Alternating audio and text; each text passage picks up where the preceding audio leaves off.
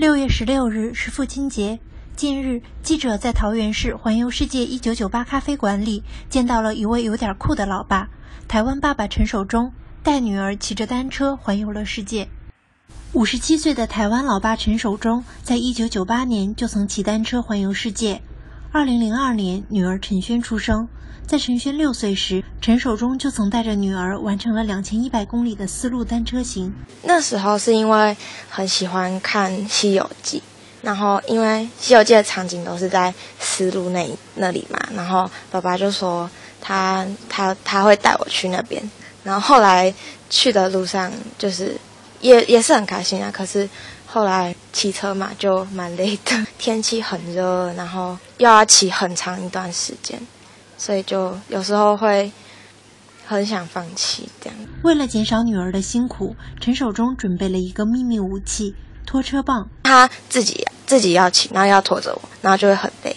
然后他有时候就会开始慢下来，然后慢慢下来之后，隔一段时间他又会再就是。维就是继续一样维持速度这样子，然后就是我知道他那时候很累，所以我会就是骑一下。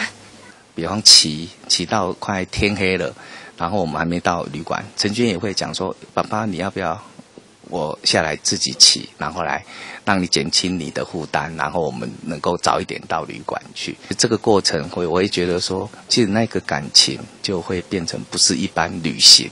能够激发出来的。陈守忠说自己是个有点不一样的老爸，他不太在意女儿的成绩，认为孩子的教育不一定要在书本上，到世界各地去看看、去体验，更有助于开阔视野、建立世界观。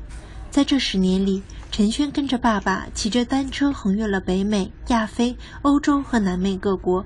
而在这个过程中，也让他们认识了不一样的彼此。哦，有任何的问题，我们都要去解决。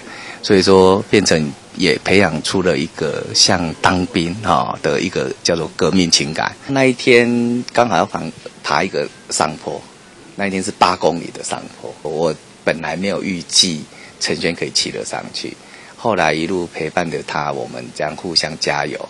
就那一天。真的骑上去，那个过程让我觉得哇，陈娟好厉害哦，也没有也没有在路上哀哀说啊，他骑不上去，骑不动了。就是觉得他很厉害，然后也很，也就是很坚持，然后很有毅力。因为在家里的时候没有什么表现的机会，可是去完才知道，就是他其实很很有毅力，然后很厉害的。今年十六岁的陈轩，现在在专科学校学习护理专业。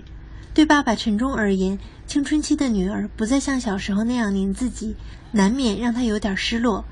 但他觉得家长应该放手，让孩子自己去翱翔。很多人都怕啊，交男朋友怎么样？其实他都有男朋友，他的时间他自己要去安排。反正他现在就是一个独立自主的一个个体。很多家长都会对孩子期望，我倒觉得我们到目前为止，我们都看他自然自然发展，就是说他照他的生命里面找他自己的价值，这样就好了。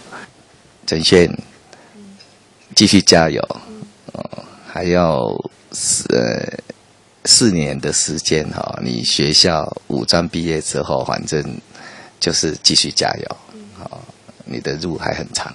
最重要的就是刚刚讲的，还是要快乐长大。希望他健康啊，因为前阵子他生过一一场，就是蛮算蛮大的病。